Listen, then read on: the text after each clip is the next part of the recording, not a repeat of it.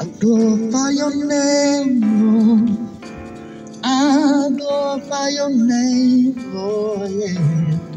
I glorify your name for everything I do, yeah.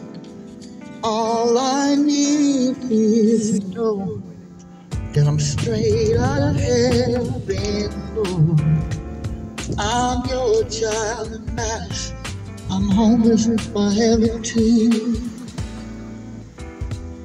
I glorify your name, Lord, for everything I do, Lord, yeah. Lord, I worship you above everything. Yeah. I praise your name, Lord. I praise your name, Lord, yeah. I praise your name, Lord, in everything I do. There's no me without you.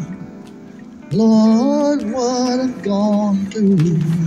I know you've been with me every step of the way to the highest, Lord, to the heaven, Lord. I will praise your holy name. I will see you when I see you, Lord. I will praise your holy name. Glorify you, Lord. I glorify you, Lord. I glorify you in every way. Please come out to the state capitol where I'll be today only till 12. But I'll do my best to come every day at 8, 9, maybe 10 o'clock in the morning. They went on the weather, depending on God's timing. I'll be out here until I bring the awareness that people need to understand who's in control and who's not in control. And this is what we got to understand as we walk through the valley of the shadow of death, not ignoring what's going on around us, not just worried about a paycheck and what we got to clean up and what we got to do. Because it's more about this world than what we allow to be seen. For all men, women, and children across God's kingdom, we got to understand and see what matters to God the most.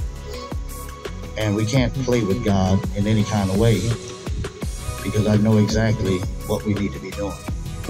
And it's not being done.